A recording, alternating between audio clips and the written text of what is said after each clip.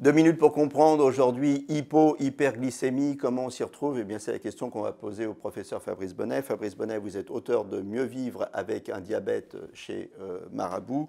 Hypo, hyperglycémie, définition? L'hypoglycémie, c'est la baisse du taux de sucre dans le sang, en dessous de 0,70 euh, g par litre, et ça donne des symptômes.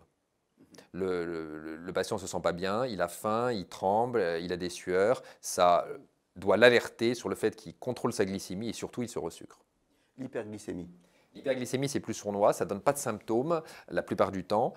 Au-delà de 2,50 g, le patient peut uriner un peu plus et avoir soif, ça, ça peut alerter, mais il n'y a pas de malaise lié à l'hyperglycémie. Le malaise, justement, vous avez euh, dit le mot-clé, euh, le malaise hypoglycémique, comment on le sent venir et ensuite quelle conduite à tenir pour l'entourage? C'est difficulté à se concentrer, l'impression d'avoir très faim, de devoir s'arrêter, de devoir euh, s'asseoir. Et le patient reconnaît les signes d'hypo, parfois c'est aussi des maux de tête. Euh, il contrôle sa glycémie s'il le peut et il se resucre. Il peut euh, prendre deux sucres dans la bouche ou une boisson sucrée, un peu de jus de pomme, du jus d'orange, un peu de pain, ça va faire remonter rapidement la glycémie. Ça, c'est dans le cas où le patient euh, voit son malaise arriver, il le, connaît, il le maîtrise. Euh, s'il ne le voit pas arriver, euh, qu'est-ce que fait l'entourage? L'entourage peut euh, détecter quelque chose ne va pas et inciter à vérifier sa glycémie, parce que parfois certains patients euh, sont un peu dans une forme de déni.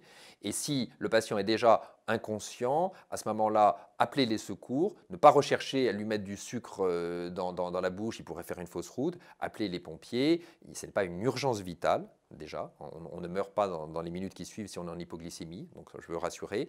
Et parfois des injections de glucagène si le patient en a à la maison. Voilà, hypo, hyperglycémie et euh, malaise. Vous savez comment vous y retrouver. À très bientôt.